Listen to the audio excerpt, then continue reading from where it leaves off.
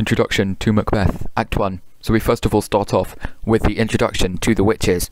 They're set up as very creepy and potentially all-seeing. Next, we see Macbeth. He's just fought a massive battle and has won. He's saved Scotland. Woohoo! Then, after this, Macbeth gets up and goes to see his br- his mate, Banquo. Banquo and Macbeth go and see the witches, and the witches tell him that him and his mate will be very powerful people and that Banquo's kids will be king, and that Macbeth will also be a king.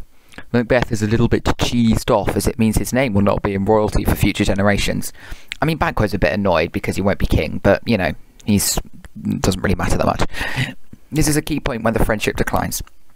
Banquo is declared the Thane of Cawdor, basically just like a really posh lord man thing, by King Duncan, because Macbeth is like slayed a bunch of people and like saved Scotland and all of that. Macbeth is not satisfied with his power though, and this is where we start to establish him as an anti-hero. So he starts to enter entertain ideas of regicide in a soliloquy after being told he's going to be the Thane of Cawdor.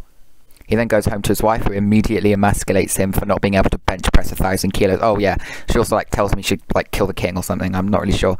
Uh, very healthy relationship goals right there. Also, this kind of treatment by a woman would have frustrated the Jacobean audience, not really because any of the murdery death bits, but mainly because she has free will and speech. She manipulates him by telling him he'd be a bigger man, and he goes with it, but still thinks it's wrong. But I just guess he loves his wife or something. We also get hint into the merciless nature of Lady Macbeth, who said she would kill a child rather than break a promise to him.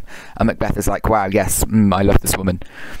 We so we go into Act Two with Macbeth and Lady Macbeth ready to kill the king. Will he do it? Well, yes, there's four more stanzas, but like it leaves the audience wishing to hear more and keep them on the edge of their seats. Thank you for listening, and it's been under two minutes. Well, hey.